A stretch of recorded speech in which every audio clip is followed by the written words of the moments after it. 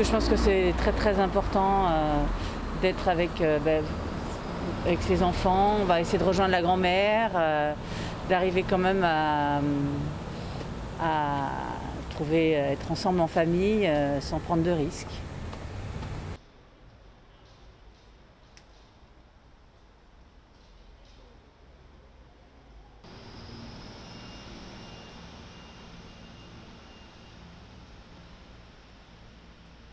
C'est vrai que quand on voit un petit Auchan euh, tout petit avec plein de gens et qui ne portent pas forcément le masque euh, de façon régulière, eh ben ça fait voilà, ça fait mal au cœur, je veux dire.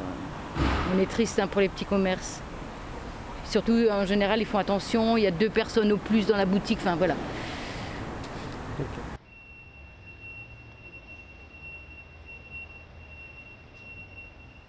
La fermeture de tous les commerces, c'est franchement quelque chose de triste. Voilà, l'activité du pays, euh, qui est déjà dans une grande morosité, risque, risque de s'accentuer encore davantage.